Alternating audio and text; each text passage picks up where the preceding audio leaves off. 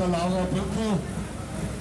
Da gibt es ja eine erste Rallye erfolgreich beendet. Kräftigen Applaus von